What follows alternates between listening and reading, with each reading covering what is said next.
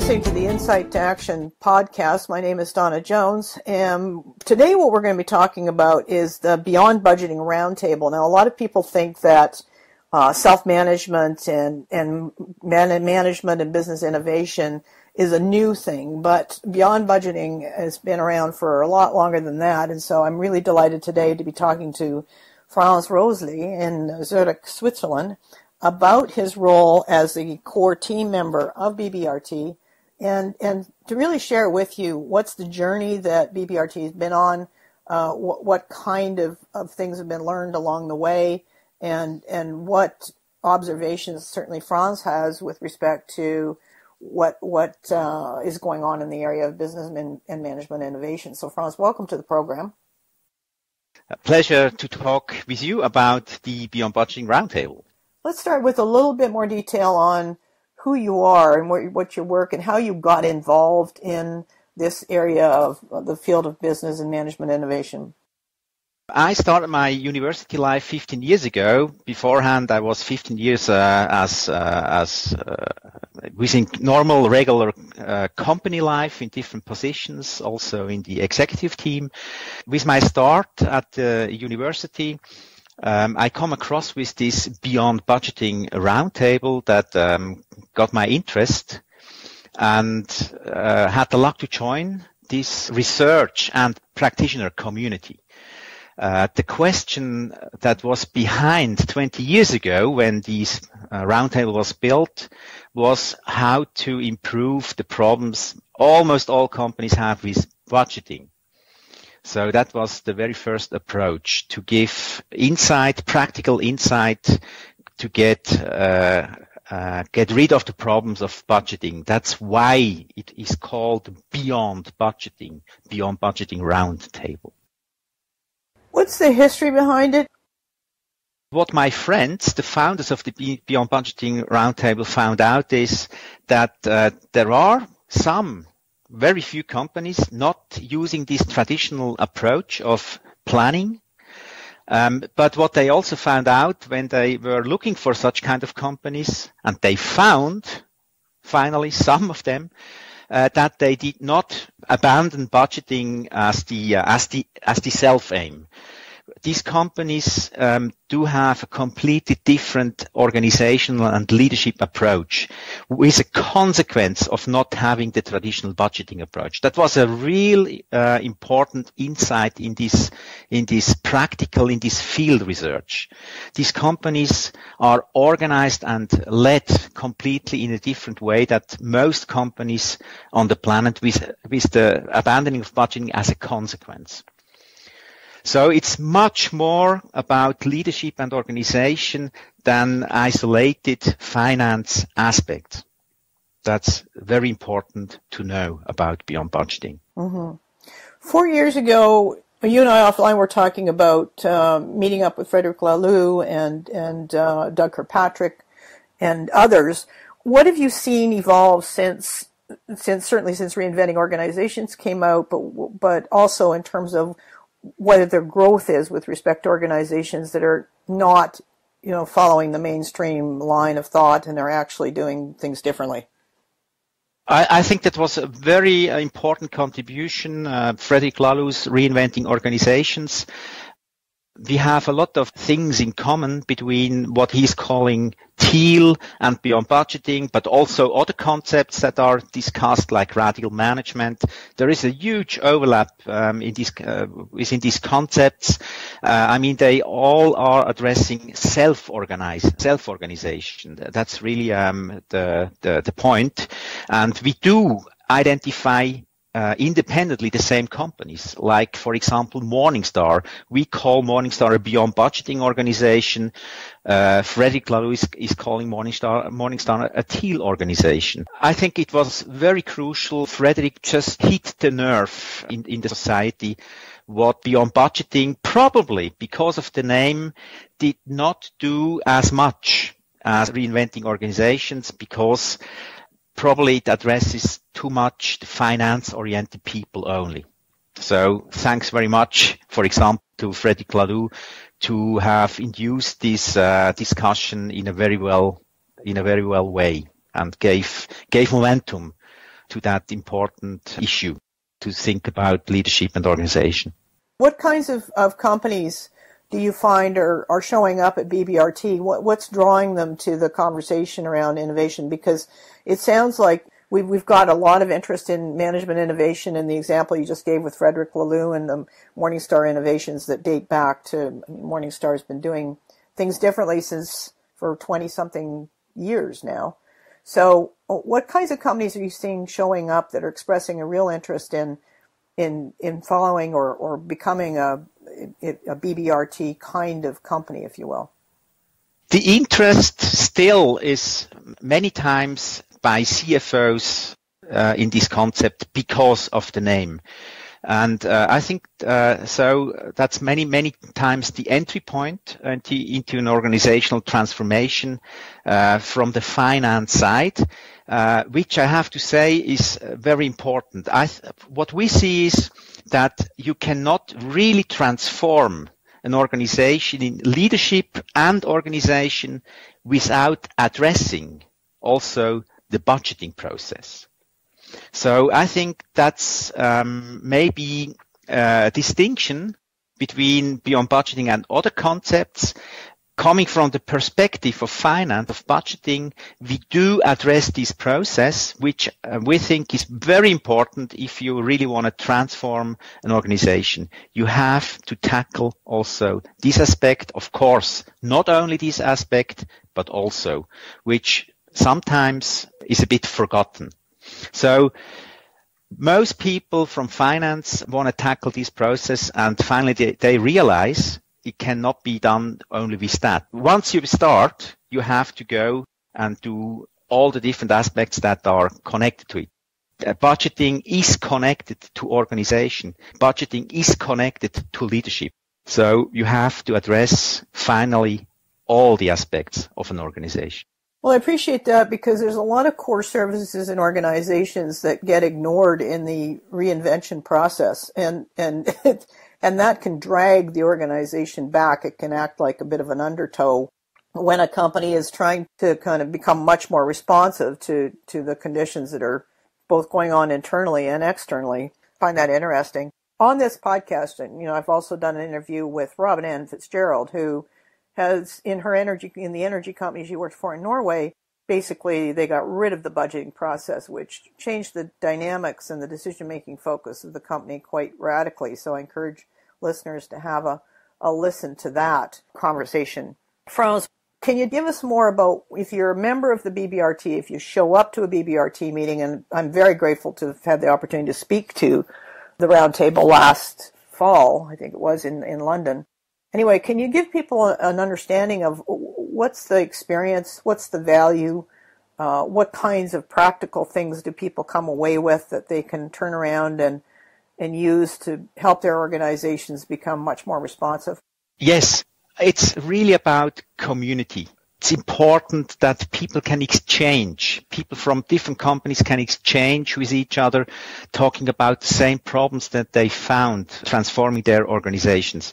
So we are really a platform for exchange, for collaboration, uh, and for uh, help each other. The meetings are a contact platform. They are uh, uh, an information base. Obviously, we have fantastic speakers as you uh, were last October. There are also, also workshops organized, but mainly it is really to meet each other and to, to have the, the space also to exchange about problems in progressing into the journey of uh, beyond budgeting. Having said that, besides these meetings we have, there are different types of meetings coming together, not only the, the members meeting, we have introductory meeting, we have uh, implementers meeting. Beside that, we have a huge database where all the members have access to all the case studies, to all the papers, uh, all the uh, field research that um, has been made during the last 20 years.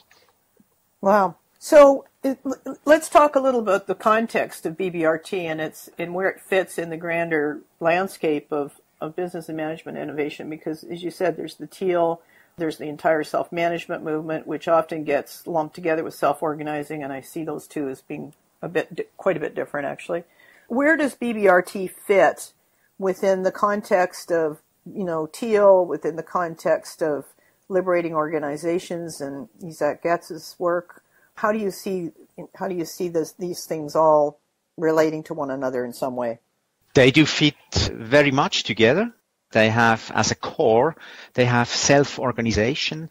So um, I think they are highly related as modern organizational concepts coming from different perspectives. I think that's very important. That's very interesting. I think it's it's so important that these different movements or these different concepts that they they come together and exchange. You know uh, that uh, we can learn from each other's because we have a very common ground, uh, but we have interesting details that uh, every concept addresses in another way because coming from other ways, you know, like we come from more, a bit more, more from finance, agile comes a bit more from IT.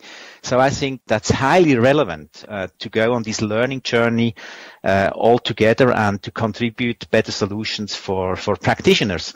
I mean, I think one common ground is really the uh, human nature assumptions. I think that's what unites us without maybe even being conscious about it, I think we have a similar assumption about human nature, which contradicts the unconscious human nature uh, assumptions that is uh, in mainstream management mainstream management where we think um, that people um, need to be controlled, that they have to be said what to, what is being, what they have to do, etc., etc. That's uh, why we have this so-called command and control mainstream management model. And these newer approaches like Teal, like radical management, self uh, self management beyond budgeting, the human age assumptions are the opposite. We we do think that people want to contribute, that they are highly engaged, given they have the right conditions in their companies. Can you give us some examples of companies that have, in your beyond budgeting, really put these principles and practices into play? Because I appreciate the value of a mastermind group or sort of a community, a peer-to-peer community which provides us support. How does that result in people actually doing something different when they go home? I think one of the real benefits is in our community that members, company members, they join our meetings not as one person, but two or three or four. So it's not one person that just uh, is listening and exchanging about all this stuff but several, which uh, is fundamental to go back into companies and you do not have to explain to everybody else and nobody uh, was there. You are a group. You are a, you are a team that uh, have heard and exchanged about the same thing and really helpful to ignite to ignite uh, something going on within the company. Of course, you have to be willing to do some changes. Only taking participating at the meetings definitely is not enough. There, there is support from us, from the core team members, and mutual support of of uh, of company members. You know, they they are in contact. They go into contact with each other. So it's an online and offline support system, if you will, that comes from BBRT members.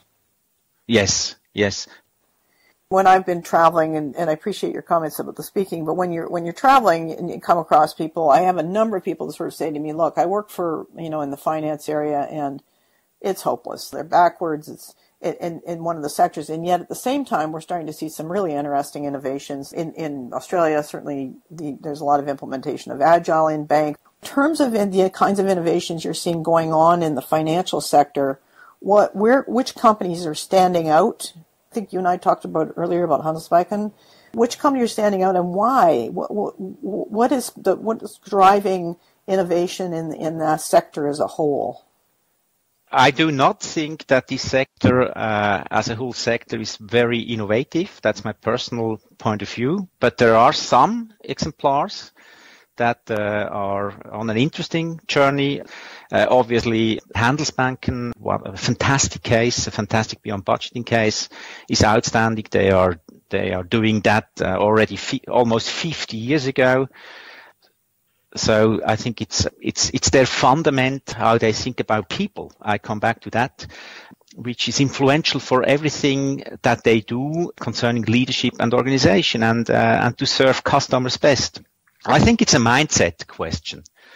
Having said mindset questions, I think it's all about the quality of awareness of people, of the leaders that uh, do wanna change or transform an organization. It depends what they really think. Is it about more shareholder value, which I think is a problem? And I still see banks uh, going this way, doing more of the same old thing, you know. That's not change in my view. But there are a few examples that really want to change the way, the, the, also their identity, their self-understanding. But this needs mature leaders that really are willing, uh, wanted to go this way to serve the clients and society and not to put profit first. It's, it's really about philosophical aspect. Is it about purpose? Do the leaders think about purpose or do they only think about profit? That, that makes a big, big difference. Well, I couldn't agree with you more on that. As most of my listeners know, that is a, a major mantra that I carry with because as soon as you focus on purpose, you can actually make far better decisions. When you're focused on profit, it's, it's much too narrow a frame and, and you simply can't see what's going on in the organization. It's almost like putting blinders on. Uh, exactly. I mean, it, I think it's the, the important uh, discussion about what are the ends or what is the end and what are the means.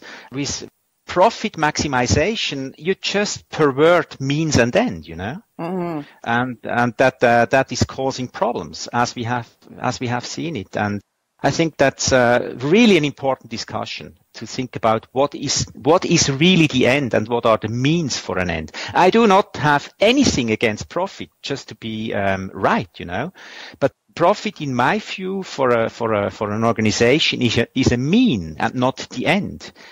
Uh, companies need profit, but not as the self aim. It's a means to an end, and uh, this is completely another position.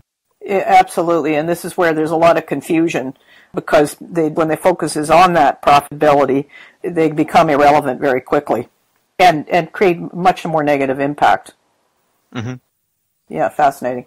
Let's go back a bit to the financial sector because I know when we're talking about beyond budgeting, somehow we end up steering back to that financial conversation just because of that word budgeting. I appreciate what you said about mature leadership when you listeners listen to the Robin Ann Fitzgerald interview about removing budgeting, there's a lot of leadership involved in helping an organization think differently about what it's doing.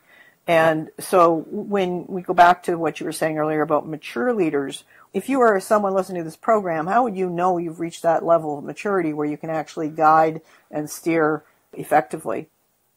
I think you cannot have a measure kind of external measure. Now I'm there. I think, I think it's, it's a personal journey also to get a mature leader. You know, I think everybody, if you want to have a change within an organization, a real change, you have to change yourself first. Uh, if you have an attitude, uh, I'm already mature, so I will change now the company. Maybe that's that's that's a, a mindset that um, is not helping. I think if you are in a, in a, in a company and you want to really transform, you have to start with yourself. Then maybe it's really honest. If you take you out of the transformation because you are already mature, you do not have to change, but all others have to change. And I see that many, many very many times. I think uh, then um, the, the starting point is a failure. So this is a growth journey, if you will, you know, and a, and a releasing of own of personal potential. It is a growth journey for every individual, and of course, then also for the company. Yeah, yeah, multiple multiple layers there. Any particular recommendations when you you know when you look at what people are doing on the outside to help companies on the inside? Are you seeing anything, you know, any particular threads of uh, transformation that are working well? I, I think an important point is that everybody that want to see change should not wait if not being uh, at the top themselves, until the change comes from above. That's uh, that's an argument I, I hear a lot. Yes, that's wonderful. We would like to go in this direction, but our top management uh, would never do that. That's that's an excuse. That's not taking responsibility. If you want to change, do go forward in your realm of um, of influence. Everybody, everybody has a realm of influence and start there. Start there with small experiments. Try. Uh, I mean, here agile really comes into play. Try. If it does not work, try something else. If it works, try to continue, try to uh, evolve it. Other people will see it. If they like it, they also try. So I think that's that's really important not waiting for the big bang from above. I really appreciate that distinction or that that uh, tip because that is something you hear a lot, and there's always a deferral of responsibility for taking leadership. It's like the, the executive will say, "I can't get the I can't get the middle, you know, I can't get any action from from the organization or the, as you said, the other way around. So there's always this, it's somebody else's responsibility and that's a good way of making sure nothing happens. So I, I, I really appreciate the idea that get started. That's leadership. That's leadership. That's new kind of leadership, not leadership by position, but by example. That's what we are needing, you know? Yeah.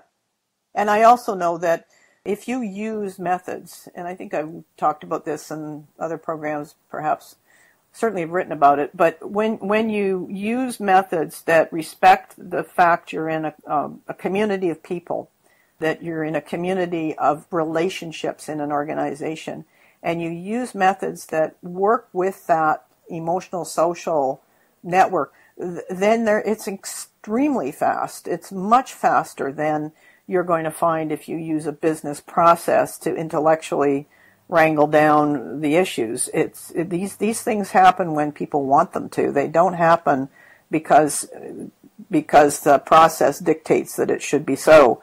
On the podcast, we have one interview with Chris Laszlo and Ervin Laszlo, where Chris talks about uh, a lot of the the shifts in business. So, in other words, it's a quantum leadership role where you take where you are and you jump, make you know, make some massive jump. Completely agree on that. Completely. It's it's a it's it's just an assumption that change has to needs to be a long time. You know. That's an assumption. That's maybe empirically true, but maybe it's empirically true because we did not try in another way. Exactly. I don't think that change as a as a physical law has to take a long time. It depends on our assumptions.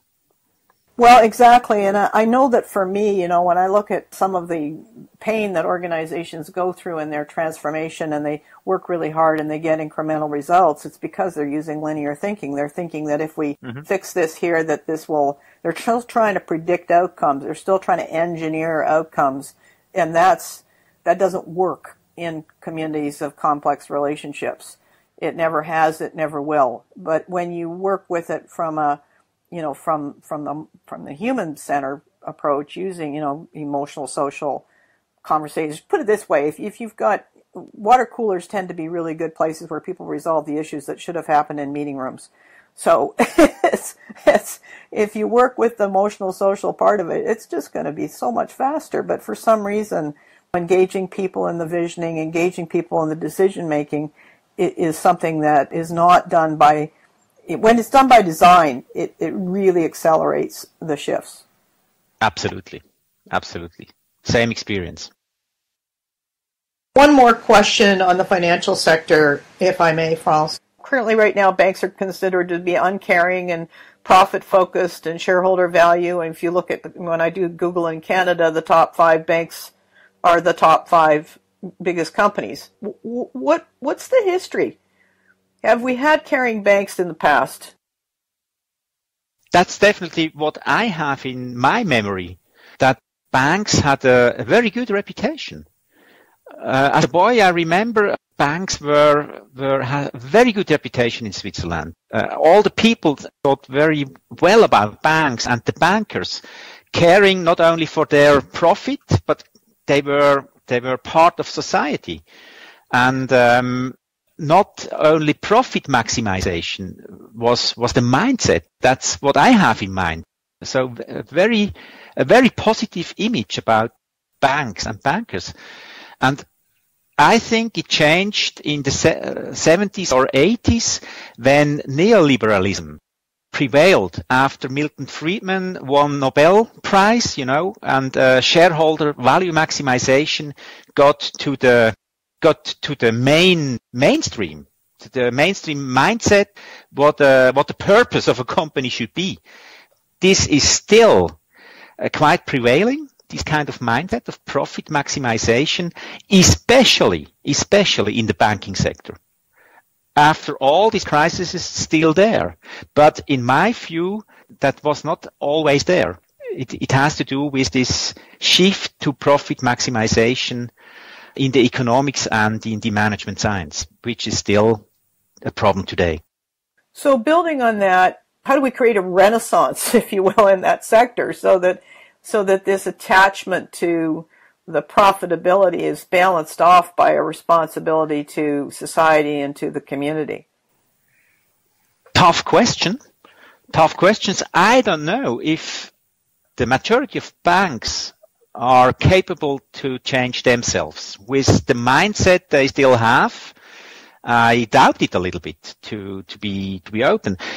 Maybe with the new people coming into the bank, I mean, they have to uh, engage Generation Y. That could be a chance, but the leaders leading the banks at the moment uh, with this kind of mindset, um, I'm a bit, I'm a bit concerned to be true. On the other hand side, um, maybe, maybe there is, there is an, another game changer, and this is the new technologies like blockchain that the banks, uh, the traditional banks with their traditional business models uh, come under pressure and they have to change with this outside pressure coming uh, quite fast towards them. Um, but with the mindset they have in the banks, I do not really assume that they will change freely or independently. No, I'm with you on that. So the, this is where the real value of, of uh, emergent leaders comes to mind where you, we really need some bold leadership to, to help avert some sort of crisis at that sector. And we know that banks have quite capable of riding through crises as long as they have the government support and, and there's no political will to hold them to task and make them accountable. But if, if there's acceptance of responsibility, then of course anything can happen. So. Yeah, absolutely. And having said all these quite critical words, there are exceptional banks. Absolutely. I mean, it, it is possible and there are exceptions.